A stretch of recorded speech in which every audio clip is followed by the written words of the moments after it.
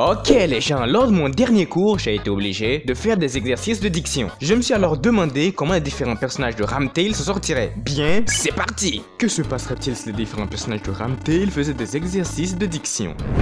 Ok, c'est moi qui commence. J'ai pas intérêt à me foirer. Petit pot de beurre, quand des petits pots de beurre riseras-tu? Je me des petits pots de beurre riserai quand tous les petits pots de beurre se des petits pots de beurre riseront. J'ai réussi Attends, c'est à moi là Ça va chier. Gros, gras, grand grain d'orge quand des gros. Putain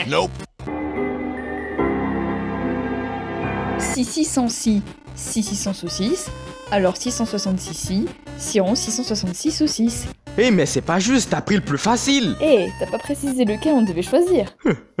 Laissez-moi vous montrer ce que c'est que la véritable éloquence. Gros gras grand grain d'orge, quand des gros gras grand grain d'orge auras-tu Je me des gros gras grand grain d'orgerai quand tous les gros gras grand grain d'orge, ce seront des gros gras grand grain d'orge. Ah, merci, merci, je vous remercie. Waouh, Oro, je savais pas que t'étais aussi doué en diction. Hum, Même si j'aime Laura, ce n'est pas une raison pour ne pas respecter les règles de la langue de Molière.